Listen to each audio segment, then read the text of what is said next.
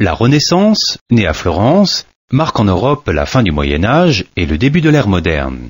Ce renouveau artistique est caractérisé par un retour aux sources antiques, fruit d'une observation méthodique des bâtiments de l'Empire romain. C'est en 1547 que Michel-Ange, déjà très âgé, entreprend la construction de la basilique Saint-Pierre, qui devient le symbole de la toute-puissance du pape, héritier de Saint-Pierre. La façade laisse deviner la prédilection pour une ordonnance claire, évoquant l'Antiquité. L'harmonie des dimensions répond aux besoins de la représentation religieuse. Gian Lorenzo Bernini parachève l'œuvre 50 ans plus tard en créant la place Saint-Pierre et ses colonnades.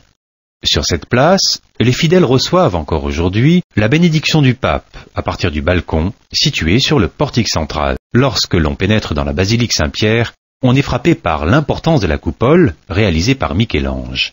Avec ses 119 mètres de hauteur et un diamètre de 42 mètres, elle domine le chœur et le trône du pape. Michel-Ange est aussi l'auteur d'une grande partie des sculptures présentes dans la basilique Saint-Pierre.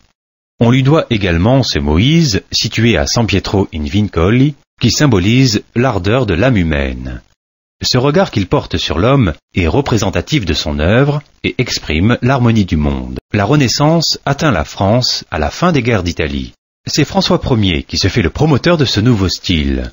Le château de Chenonceau, construit entre 1515 et 1580, en est une parfaite illustration.